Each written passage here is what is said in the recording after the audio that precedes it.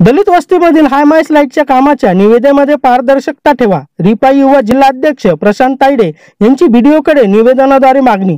जळगाव जामोद तालुक्यात पंच्याहत्तर लक्ष रुपयाचे हायमास लॅम्प मंजूर झाले असून त्या संदर्भात विविध मागण्यांचे निवेदन रिपाईचे युवा जिल्हाध्यक्ष प्रशांत तायडे यांनी दिनांक चार नऊ दोन हजार वीस रोजी बीडीओ भार साकडे यांच्याकडे सादर केले.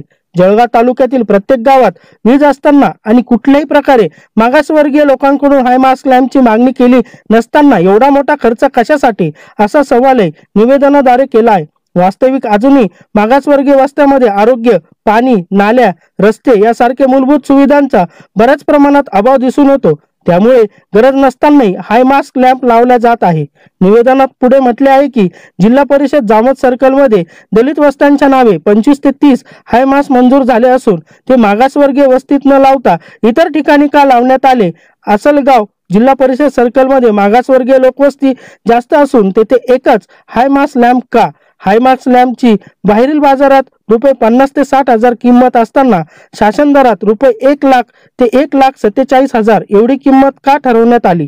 दलित वस्तीतील निधी व योजना दलित वस्तीतच राबवण्यात यावे तरी आता ज्या ज्या ठिकाणी हायमास लॅम्प मंजूर झालेत त्या त्या गावात मागासवर्गीय समिती गठीत करून त्या त्या वार्डात नेमून प्रस्तावित ठिकाणी लाइट बसवण्यात यावे आणि प्रशासनाने त्या त्या वस्तीत जाऊन त्यांना याबाबत अवगत करावे. दोन हजार वीस रोजी गटविकास अधिकारी जळगाव जामोद यांना रिपब्लिकन पार्टी ऑफ इंडियाच्या वतीने दलित वस्तीतील हायमास निविदा पारदर्शीपणे राबवण्यासाठी आम्ही एक निवेदन सादर केलेलं आहे. या अंतर पंचायत समिती अंतर्गत पंच्याहत्तर लक्ष रुपयाच्या हायमासचे कामाचे वृत्त दैनिक सकाळमधून प्रकाशित झाले. त्या अनुषंगाने माझे काही प्रश्न या प्रशासनास माझ्या काही मागण्या आज मी पंचायत समिती बी डी ओ यांना सादर केलेल्या आहेत. खरंच मागासवर्गीय वस्त्यामध्ये पंच्याहत्तर लक्ष रुपयाच्या हैमाची आवश्यकता आहे का? पंच्याहत्तर लक्ष रुपये हैमाची आवश्यकता आहे. तर आज मागासवर्गीय वस्ती या मूलभूत सुविधांनी जसे पाणी नाल्या रस्ते ह्या पूर्ण झाल्या आहेत का? हा माझा त्यांना प्रश्न आहे. जर ह्या झाल्या नाहीत तर मग हा एवढा दश पंच्याहत्तर लक्ष रुपयाचा खर्च हा अनाठाई का?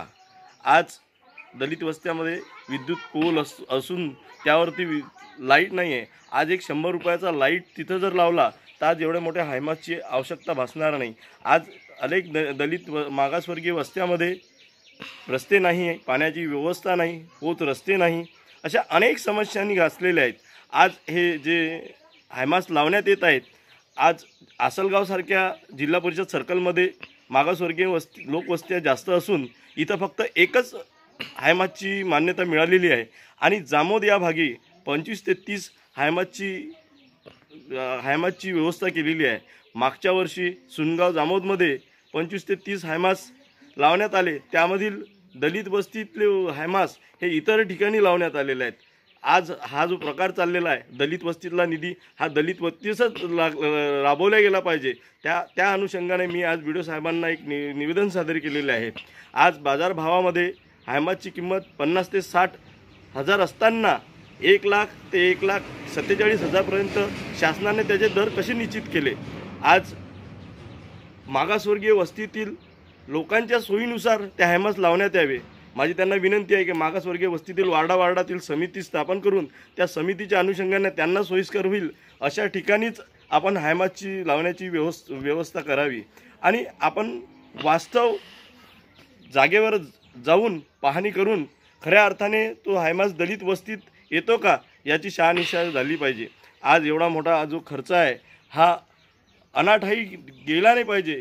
खरंच दलितांचा व- निधी हा दलितांसाठीच उपयोगात आला पाहिजे. त्या अनुषंगाने आपण त्या ज्या निविदात ह्या ई टेंडरद्वारे काढून पारदर्शीपणे जो निधी आहे जे कामं आहेत हे झाले पाहिजे. त्या अनुषंगाने माझी आपणास विनंती आहे की आपण ई टेंडरिंग करून दलित वस्त्यातच दलित वस्तीचे कामं झाले पाहिजे.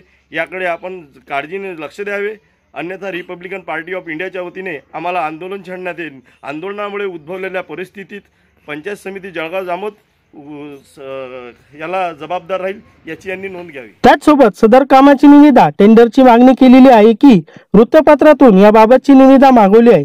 सदर काम पंचायत समिती स्तरावरून कोणत्या पद्धतीने राबवल्या गेली किंवा जात आहे. त्याबद्दलची माहिती लेखी स्वरूपात देण्यात यावी. स्थानिक दलित वस्तीतील लोकांना विश्वासात घेऊन कामाची पद्धती ठरवावी आणि ही योजना पूर्णपणे पारदर्शकपणे राबवण्यात यावी. अन्यथा रिपाईच्या वतीने लोकशाही मार्गाने आंदोलन छेडण्यात येईल आणि या सर्व परिस्थितीत पंचायत समिती प्रशासन यंत्रणा जबाबदार राहील असे निवेदनात म्हटले आहे. निवेदनावर प्रशांत तायडे रिपाई युवा जिल्हा अध्यक्ष गोपाल अवचार तालुका अध्यक्ष भास्कर भटकर जिल्हा सचिव संजय वानखडे तालुका सदस्य किशोर वले तालुका सदस्य विलास सोनवणे तालुका सचिव यांच्या अक्षर आहेत. प्रतिनिधी Irfan Sayyad Maharashtra twenty four news Buldhana.